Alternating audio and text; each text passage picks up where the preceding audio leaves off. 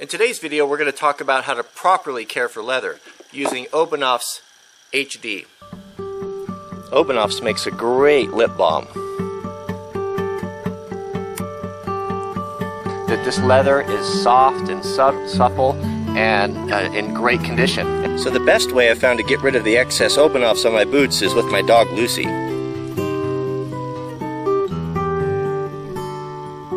A secret recipe of uh, beeswax and propolis. I think most of us have a lot of um, leather items that we use in our day-to-day -day life, whether it be our work gloves or our work boots, uh, holsters for our guns, belts, shoelaces, sheaths for our knives.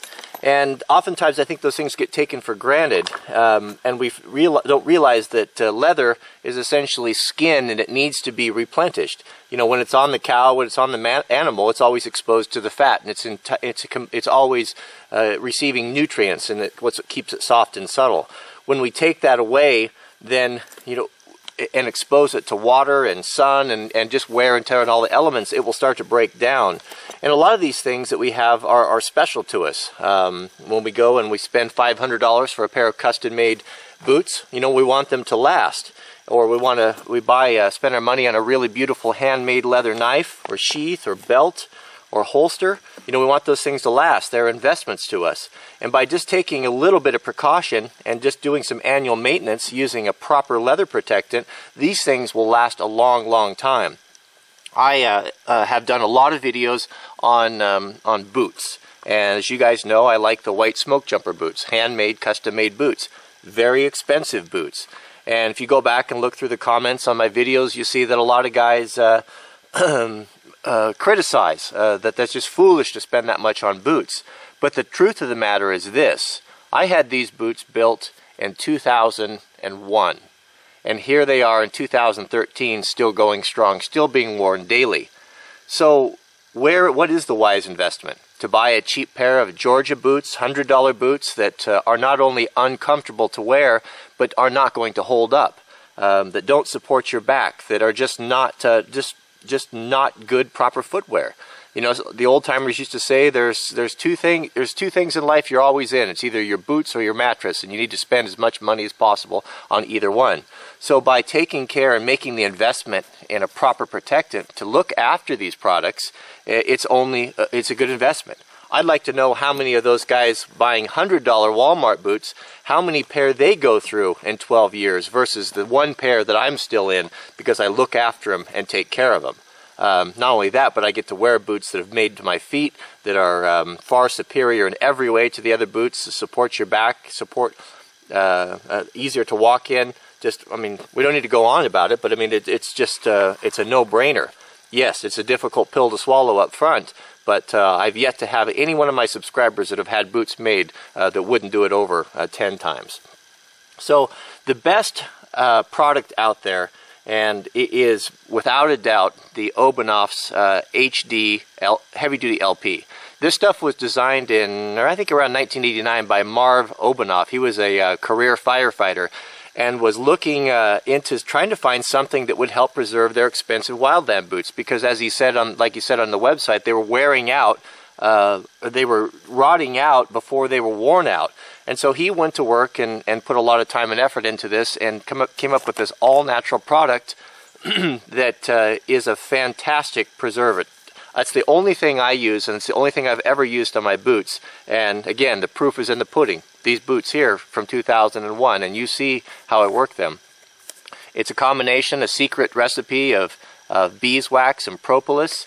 And the thing I really like about it is that as soon as you put your fingers on it, this is kind of a hard kind of a hard waxy feel, but as soon as you just the warmth of your hand, it immediately starts to melt and to break down. And what's nice about that, you can see the sheen on my hands, is that when you apply that on your leather and put it on your boots, as soon as you wear these and the heat from your skin and from your body from working, it forces this, this, the pores to open up in the leather and this stuff is kind of suspended in there and then melts and just, and just weeps into and just drinks up the leather. If you put this, if you take a pair of boots that have been abused and not been looked after, a, a big pair of boots like this, full leather, you can almost they'll almost drink up an entire can of this Obenauf's. I've done it before, and it's it's amazing. You put it on, it's all glossy and shiny, and then it'll suck in and just dry. It'd be dry, and then you'll apply it again. I've applied it four and five times, and still the leather will continue to take it. And the thing, oftentimes with our boots, you know, that really takes takes uh, a lot of uh, wear is this area right here because it's always hinging. And if you look at your boots, if you haven't taken care of them, you notice that it's become very hard right here, and this is where they'll crack, and this is where they'll fail. So you can see mine here, even though they're um, you know 12 years old or so, that this leather is soft and supple and uh, in great condition, and will continue uh, to give me years and years of use. Same thing with your holsters. One thing that I've also really noticed about the HD is that it uh, is um, really good at uh, preventing abrasion. See, where I wear my knives and, and, use my tools by putting the stuff on here, I've noticed that having them on the outside of the belt when I'm in the brush and stickers and going by sticks, that by putting the stuff on here, gives it kind of a slipperier surface and then it will, it, rather than gouge or, or peel pieces of the leather out, it simply slides off. So it really helps with abrasiveness. And the other thing that, that's really nice with the beeswax, beeswax just inherently has an antibacterial and antifungal properties to it. So those of you guys that suffer with, um, you know, bad stinky feet or stinky boots, a lot of that is going to be mitigated by the uh, application of this because it just automatically is a deterrent to that and, and uh, in a natural way without using chemicals or, or things that are not good for you. You know, you, a lot of guys put products on that are petroleum that break down leather or silicones, and you know, who wants to be in contact with that stuff all, all the time? It just doesn't, um, it's just not good for you, and it's not necessary when there's such a great product like this out there. The other thing for guys, you know, that are not, you know, maybe work office jobs or wear more dressy clothes, you know, on, you can use it on belts like this. You know, it's kind of, you can see, you can see right here where this, this belt here is kind of scuffed up a little bit and starting to look a little bit ratty. Nice thing about this Obenauf's is you can just apply a little bit on there and let that dry and sink in. It'll lighten up and let those scratches go away. And then you can take a horsehair brush and then once it dries and you can buff it and it really shines it'll shine and look really nice uh, it just it really dresses up leather and it um, it's just good for everything. Same thing with your um, with your holsters. You know, when you spend this much money and have a custom-made holster made, you need to take care of it. And just just you're talking just a little amount. You know, for holsters and belts and things, a canister like this will last you a long time. And uh, you can just see right there that leather just loves it. Even this vegetable treated leather is uh, just drinks it up just loves it. So a uh, big fan. Boot laces, another good thing to put it on. Helps them last a lot longer, helps them slide uh, through the uh, German speed lacing. Um, just love the product. Some of the wildland firefighters, I, I have seen some guys talk about putting it on their gloves. And I don't put it on my gloves per se because I just wear them out so fast. But I have noticed that if I'm doing my boots and I have a lot of excess on my hands, I'll rub it on my, um, like my Filson and tin garments you know, like the, the heavy wax hats right here on waterproof areas, I'll rub that on there. And I prefer it uh, to the wax that comes with it. The wax that comes with it doesn't melt very good. It's almost too thick, and it seems to collect dirt and gets kind of gross, where the Obenauf's seems to soak in better and is a great, great waterproofer. But uh, back to the gloves, I have seen some people turn these their gloves inside out, open off and really coat the outside, turn them inside out, and they like to have that uh, against their skin, the softer area. But uh, I don't know about that. I think I think you need to man up and and just put yourself to work and get some calluses on your hands. I don't know about turning gloves inside out, but I have heard people say that. So we're okay. So when I was doing research for this video, I wanted to share this product. I was on the Obenauf's website, and I just I had some questions, and I made some contacts, or made a contact there, and I was put in touch with a guy there uh, by the name of Luke and was kind of talking to him about the product and the channel. And, and I asked him, you know, would you be willing to offer a product code uh, for my subscribers? And I showed him a couple videos, and you know, he he got on board. He understood it. You know, he saw what we were doing, and and asked if he could use the um, uh, the boot care videos that I've done for uh, their website? And I said, absolutely, that would be great. Uh, but uh, in our conversation, uh, he very graciously offered to um, uh, a products code for those of you guys that want to buy from their website. So it is a W star, and I'll put that down in the subject headings. But you can get, I believe it's 10% off of your any purchase from their website. And he didn't give an expiration date, so as far as I know, that will stay open. And in addition to that, he sent me um, a case of their product uh, to give away to subscribers. Um, and so I thought we'd have a little fun with that. So I'm going to do it three ways. Uh, I'd like to uh, give me um, in the comments, give me uh, the most creative thing that you could use Obenaufs for. Um, and also, uh, if you want to send a picture of, uh, I'll take a, I'll also give a can to the worst work boots in the worst condition of anyone that can send them in and attach them to my Facebook page. Um, and I'll put that in the subject box too. So um, give me the most unique use you could use for Obenaufs, G-rated please, and also uh, send me a picture of the worst work boots, attach it to my Facebook page the worst boots will get uh, a pair of Obenaufs. And if you want to do a video response, uh, uh, also how you would use Obenaufs or why you should receive some free Obenaufs, um, I'll attach those and we'll give some away for that. So I've got several cans to give away and, and we'll just have some fun with that. Just, just make contact and, and we'll get the dialogue and start talking about it.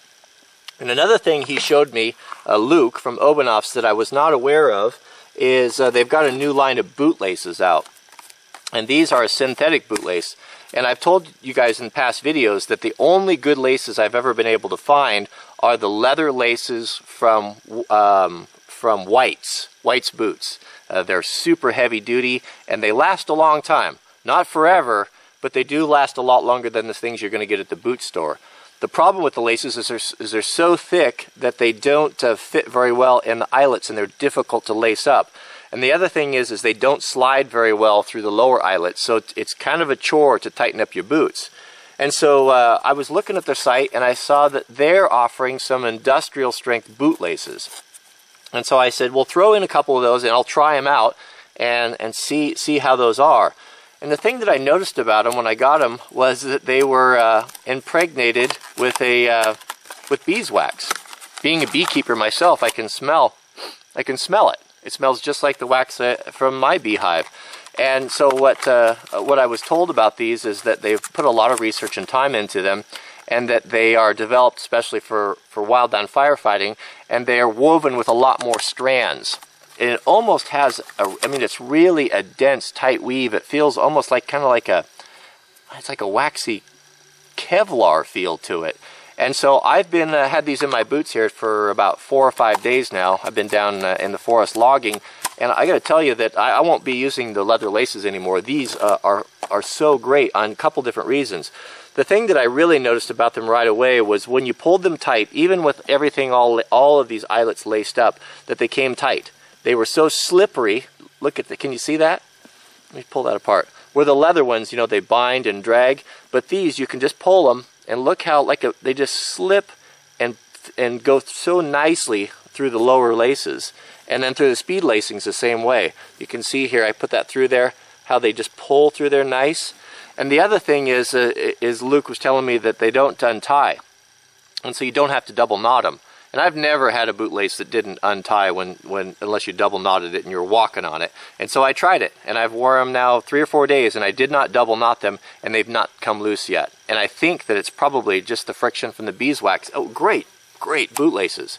How long will they last? I don't know, but I expect that they're going to last a sight longer than the leather uh, bootlaces. And if they go continue to work as well as they have, um, I, I won't be buying any more of these. Um, and then these can be treated with, with the HD also. So, so what else do we got? Um, I guess that's about it. So uh, send me your comments, send me your pictures of your worst work boots to my Facebook page.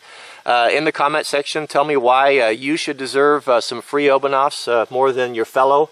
And uh, if you want to do a video response, the best best video response, you can show your worst boots. You can show how you can be creative with them, uh, whatever you like. But um, uh, I've got plenty to give away, and uh, that's it. So we'll see you in the next video. Laces through. Get them nice and coated. And then we'll put our false tongue